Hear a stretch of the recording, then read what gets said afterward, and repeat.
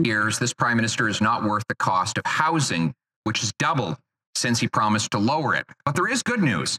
Rent is down for the eighth consecutive month in the United States. Right. Meanwhile, it has more than doubled under this prime minister. It's up 9% in the last uh, year alone. Can the prime minister explain why is rent going down in the States while it skyrockets under his leadership here at home? I'd like to give the leader of the opposition another opportunity to apologize for referring to Ukraine as disparagingly as a faraway foreign land.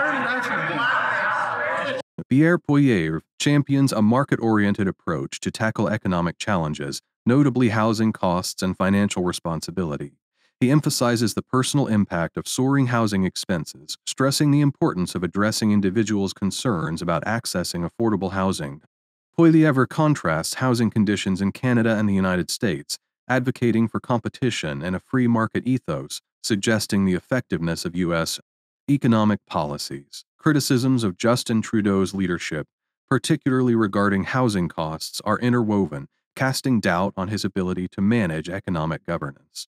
Trudeau's response to economic issues is scrutinized, with attention drawn to a shift towards an international apology request, raising questions about its sincerity and whether it serves as a strategic diversion from economic concerns. This reframing of the discourse adds complexity and engagement, reducing predictability.